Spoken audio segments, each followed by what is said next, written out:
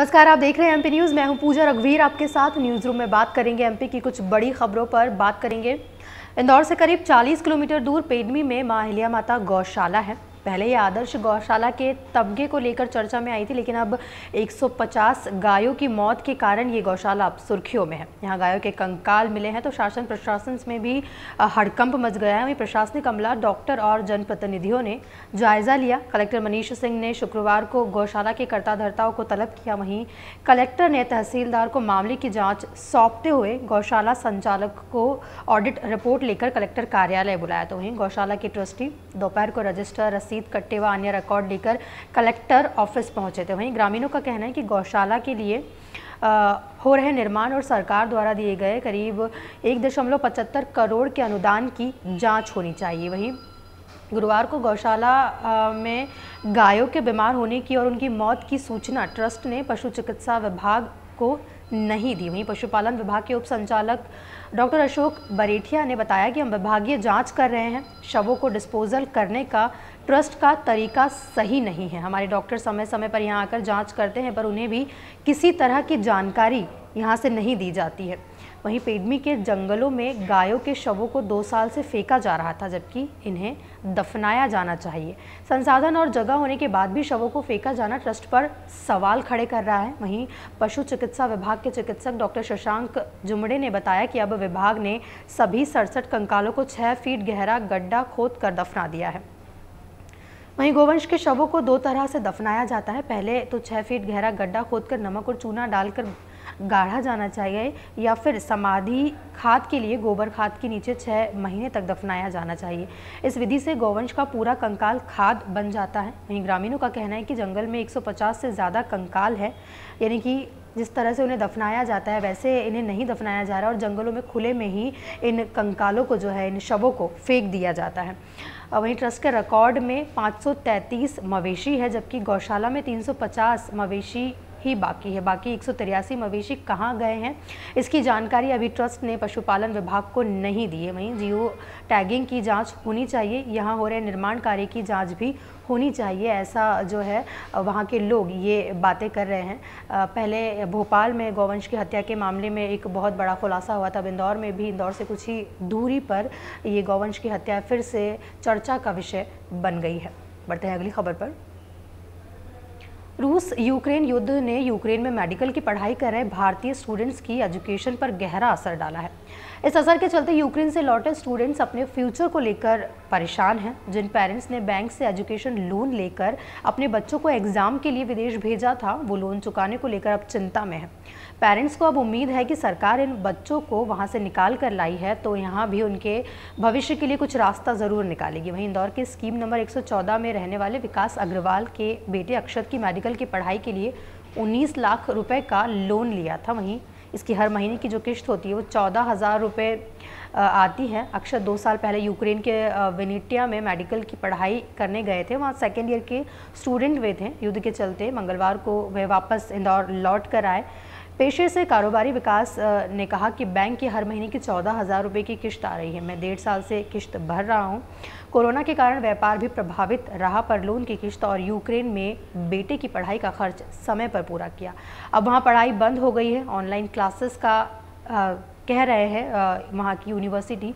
युद्ध पता नहीं कब तक चलेगा ऐसे में हमारी किश्तें तो चालू ही रहेगी। हालत सामान्य होने में कई महीने भी लग सकते हैं, लेकिन तब तक पैसा भी लगेगा और बेटे की पढ़ाई भी प्रभावित होगी। अग्रवाल ने कहा, अब लोन से ज़्यादा बच्चे की भविष्य की चिंता है। सरकार से उम्मीद है कि वो कुछ पॉजिटिव करेगी। स्टूडेंट्स के भविष्य को लेकर कुछ बड़ा कदम सरकार उठाएगी। अगर बच्चों का भारत में ही किसी कॉलेज में एडमिशन हो जाए तो बहुत अच्छा होगा। वहीं लोन के संबंध में अगर ज़रूरत लगती है तो बैंक अधिकारियों से चर्चा भी करेंगे। देखा जाए तो जहाँ एक तरफ़ युद्ध चल रहा है, वहाँ नव भविष्य जो है इस तरह से अपने आने वाले भविष्य को लेकर चिंतित है, किस तरह से पढ़ाई पर ये लोग ध्यान दें, जिस तरह से मेडिकल के स्टूडेंट्स ये लोग कहलाते हैं, लेकिन अब देखा जाए तो पढ़ाई का यहाँ पर कुछ भी समझ नहीं आ रहा है बच्चों को कोई क्या करे, क्योंकि वहाँ से आधी पढ़ाई करके वापस भारत लौटना और उस पढ़ाई को जारी रखना एक बहुत बड़ी समस्या अब बनती जा रही है। बढ़ते हैं अगली खबर पर। राजबाड़ा और उसके आसपास के बाज़ारों की सड़कों पर एक बार फिर फुटपाथ कारोबारियों द्वारा कब्जा कर व्यापार करने से जाम की स्थिति बन रही है, तथा व्यापारियों का कारोबार प्रभावित भी हो रहा है। मामले में अब व्यापारियों ने मुख्यमंत्री शिवराज सिंह चौहान को पत्र लिखकर इस मामले से अवगत कराया। दरअसल, फुटपाथ कारोबारियों द्वारा कब्जा कर व्यापार करने के मामले में पिछले साल राजवाड़ा और उसके आसपास के व्यापारियों ने कई बार शिकायतें भी की थी, तब भी मामला सीम हाउस पहुँचा था और फिर लगातार कार्रवाई कर इन्हें हटाया गया था। इससे पूरा राजवाड़ा क्षेत्र सड़कों पर किए गए अतिक्रमण से मुक्त हुआ था और सभी बाजारों में ट्रैफ़िक व्यवस्थित भी हुआ था। अब फिर से ये फुटपाथ कारोबारी, ठेले आदि यहाँ काबिज हो गए हैं। इससे न केवल जाम की स्थिति बन रही है, बल्कि ग्राहक मुख्य बाजारों में दुकानों तक नहीं पहुँच पा रहे हैं। व्यापारियों ने बताया कि राजवाड़ा से लगे 11 व्यावसायिक संगठन सड़क कब्जे के कारोबार से व्यथित हैं। शहर के मध्य भाग का ट्रैफ़िक प्रबंधन सुव्यवस्थित और चाक चौबंद बनाने से आर्थिक स्थितियाँ भी सुधर जाएगी। वहीं वर्तमान में व्यापार संस्थानों तक ग्राहकों का पहुँचना दुभर हो रहा है। पिछली बार व्यापारियों के दर्द पीड़ा को व्यक्तिगत रूप से एहसास किया, जो अतुलनीय है। इंदौर कलेक्टर व निगम कमिश्नर की दृढ़ इच्छा शक्ति से राजवाड़ा के आसपास क्षेत्रों से अवैध सड़क कारोबारियों को सख्ती से हटाया गया था, जो कि काबिल तारीफ़ था। अब फिर से कब्जे होना दुर्भाग्यपूर्ण है। वहीं इंदौर पश्चिम क्षेत्र के सबसे बड़े समन्वयक मार्ग जवाहर मार्ग से पीपली बाज़ार के बीच सड़क पर फुटपाथ कारोबारी ऑटो रिक्शा का खड़े रहना, अव्यवस्थित पार्किंग और दुकानदारों की प्रतिस्पर्धा के कारण सड़कें लगातार जाम हो रही हैं। वहीं व्यापारियों ने बताया कि पिपली बाज़ार की सड़क पर 100 से ज़्यादा हाथ फेरी ठेला वाले, वालों का कब्जा है। यह क्षेत्र महिलाओं की खरीदी का क्षेत्र होने से काफ़ी दिक्कतें खड़ी हो रही हैं। वहीं व्यापारियों ने गुहार की है कि व्यापारियों को होने वाली कठिनाइयों का निराकरण हो ताकि पुश्तैनी कारोबारियों का व्यवसाय निर्बाध रूप से संचालित हो सके। अभी इसके कारण व्यापार प्रभावित हो रहा है तथा नुकसान होने से व्यापारियों में रोष भी देखा जा रहा है। वहीं जिस तरह से फुटकर व्यापारी है, उनके लिए भी सरकार को कुछ प्रबंध अवश्य करने चाहिए, जिसके कारण उनका भी जो है रोज़मर्रा की जो ज़िंदगी है, जो उनका भी काम है, वो चलते रहें और व्यापारियों को भी किसी समस्या का सामना नहीं करना पड़े। बढ़ते हैं अगली खबर पर। खरगोन में महाशिवरात्रि पर एक दलित युवती को महादेव की पूजा करने से रोक दिया गया। पुजारी ने युवती को मंदिर में एंट्री नहीं दी। वहीं इस घटना को लेकर जमकर अब बवाल हो गया है। मामला टेमला गाँव का है। महाशिवरात्रि पर जब युवती पूजन करने मंदिर पहुँची तो पुजारी ने उसे भीतर जाने से रोक दिया। पुजारी के साथ दो महिलाएँ भी उसे भीतर नहीं जाने को कहने लगी। युवती पूजा करने देने की गुहार लगाती रही, वहीं संविधान की दुहाई देती रही। पुलिस को बुलाने की भी बात कही, लेकिन उसकी एक नहीं सुनी, वहीं युवती कहती रही कि संविधान में कहाँ लिखा है कि यह सिर्फ़ तुम्हारे भगवान है। इस मामले में गुरुवार को युवती के साथ अनुसूचित जाति के लोग एसपी ऑफ़िस पहुँचे और विरोध जताया, जिसके बाद मैन, मेन गाँव पुलिस ने पुजारी के साथ ही दो महिलाओं पर केस दर्ज किया है। वहीं महाशिवरात्रि के दिन पूजा खाड़ी नाम की युवती शिव मंदिर में पूजन करने पहुँची थी। जब मंदिर में प्रवेश करने लगी तो पुजारी ने उसे बाहर ही रोक दिया।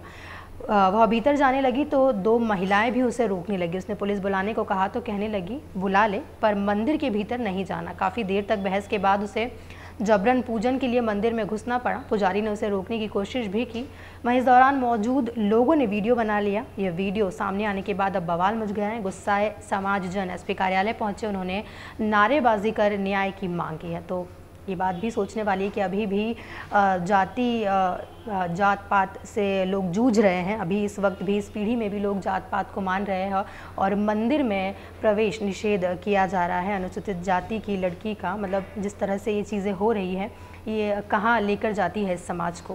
खैर, बढ़ते हैं अगली खबर पर। रूस और यूक्रेन में युद्ध छिड़ा हुआ है। अभी भी हालात वही है। इस बीच मध्य प्रदेश के एक लड़के ने रूस की धरती पर भारत का झंडा लहरा दिया। खारविक बॉर्डर से 740 किलोमीटर दूर रूस की राजधानी मास्को में वूशू गेम जो कि चीनी मार्शल आर्ट है, में भारत का नेतृत्व कर गोल्ड मेडल जीता है। बाईस साल के इस गोल्डन बॉय का इंटरनेशनल लेवल पर ये तीसरा गोल्ड मेडल है। वे अब तक 12 मेडल हासिल कर चुके हैं, अब उनकी नज़र एशियाड गेम्स पर है। ऑटो ड्राइवर पिता के बेटे का इंटरनेशनल खिलाड़ी बनने तक का सफ़र आसान नहीं रहा। सुविधाएँ नहीं थी और ना ही पैसे थे। कठिन संघर्ष के बाद उन्होंने ये मुकाम हासिल किया है। गुना के रोहित जाधव नाम है इनका। भार्गव कॉलोनी में ये रहते हैं। इनके बचपन से ही खेल में रुचि थी। वहीं पिता सुनील जाधव सेना में जाना चाहते थे, लेकिन परिस्थितियों के कारण उनका ये सपना अधूरा ही रह गया। ये सपना उन्होंने बेटे में जिया। घर चलाने के लिए ऑटो चलाने लगे। बच्चों को प्राइवेट स्कूल में पढ़ाया। वहीं बेटा रोहित जब आठवीं में था, तब स्कूल में वुशु सिखाने के लिए कोच आए। यही उसकी ज़िंदगी का टर्निंग पॉइंट रहा। रोहित ने भी वूशू खेलना शुरू किया। वुशु में रोहित की प्रतिभा कोच धर्मेंद्र मांझी को समझ में आ गई। इसके बाद उन्होंने उसे ज़्यादा ट्रेनिंग देना शुरू कर दी। ज़िला स्तर और प्रदेश स्तर के टूर्नामेंट में भेजा। वहाँ गोल्ड मेडल जीता है रोहित ने और उससे उनका हौसला और भी बढ़ता जा रहा है। अब रोहित की जो नज़र है वो एशियाड गेम्स पर है और रोहित को हम भी शुभकामनाएँ देते हैं और भी ज़्यादा खेलने की और जीतने की। बढ़ते हैं अगली खबर पर। मध्य प्रदेश में इन दिनों बादल छाने से गर्मी से कुछ राहत मिली है। पिछले 24 घंटे में पचमढ़ी और छिंदवाड़ा में हल्की बारिश भी हुई है। मौसम वैज्ञानिक पी के सहा ने बताया कि 5 मार्च से एक नया सिस्टम भी बन रहा है, जिसका असर पूरे मध्य प्रदेश में दिखाई देगा। इसी के चलते 7 मार्च से प्रदेश भर में बारिश भी हो सकती है। इसका असर तीन दिन रहेगा, यानी 9 मार्च तक इसी सिस्टम से हल्की बारिश की पूरी संभावना जो है वैज्ञानिक जता रहे हैं। वहीं मौसम में लगातार हो रहे बदलावों की वजह से प्रदेश में कई जगह तापमान ऊपर गया तो कुछ इलाकों में नीचे भी आया है। वहीं बीती रात की बात की जाए तो इंदौर में रात का पारा नीचे आया। वहीं भोपाल, ग्वालियर और जबलपुर में न्यूनतम तापमान बढ़ा है। अभी अभी दो दिन तक तापमान इसी तरह कम ज़्यादा होता रहेगा। यानी कि बात करें, अगर कल रात और आज सुबह की तो ठंड हल्की फुल्की ठंड महसूस की गई है। लेकिन कल दिन भर भी गर्मी रही, लेकिन आने वाले दिनों में भी इस तरह से ही तापमान ऊपर नीचे होता रहेगा, ऐसा वैज्ञानिकों का कहना है। ये थी कुछ महत्वपूर्ण खबरें। बाकी खबरों के लिए बने रहें एमपी न्यूज़ के साथ। नमस्कार। एमपी की नब्स एमपी का हाल, मध्य प्रदेश की हर खबर एमपी न्यूज़ टीवी के साथ। लगातार खबरों के लिए सब्सक्राइब करें हमारा YouTube channel MP news TV latest update के लिए बेल आइकन दबाना जरा भी न भूलें।